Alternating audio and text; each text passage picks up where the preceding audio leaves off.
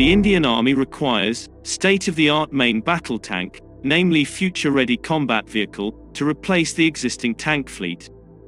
It would be required to operate across developed, semi-desert and desert terrain, and in high-altitude areas across the entire spectrum of conflict.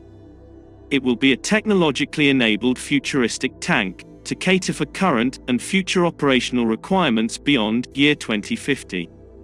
The main battle tank, FRCV, being the forerunner, will pave the way subsequently for a family of supporting platforms based on a modular approach and base platform standardization. On the other hand, India is also exploring Russian T-14 Armata tanks as China builds up pressure in Ladakh. The Indian Army wants to replace its aging Soviet-era tanks with modern, future-ready combat vehicles. So considering the future threat spectrum and the combat overmatch over the adversary, the government of India has intended to procure a total of 1770 new state-of-the-art, technology-enabled tanks to operate in existing terrain configuration under varied temperature condition for the Indian Army. These tanks will be procured to remain in service for the next 40 to 50 years as the main battle tank of the Indian Army.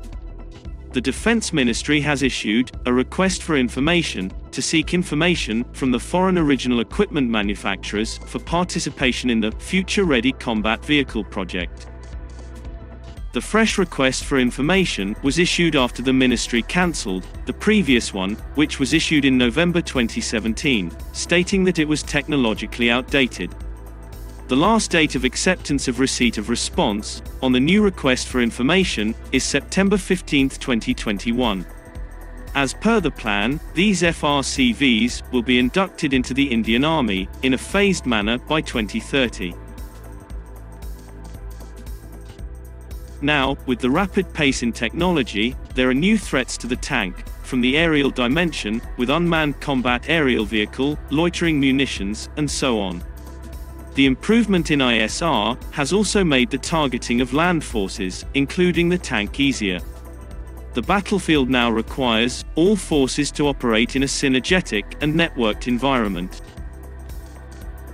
The future tank has to be in synchronization with technological battlefield advancements and needs to once again upgrade and incorporate systems to negate intelligence surveillance reconnaissance systems, counter the new threats, and enhance the operational performance, using technology and ensure the victory of the land forces in any conflict.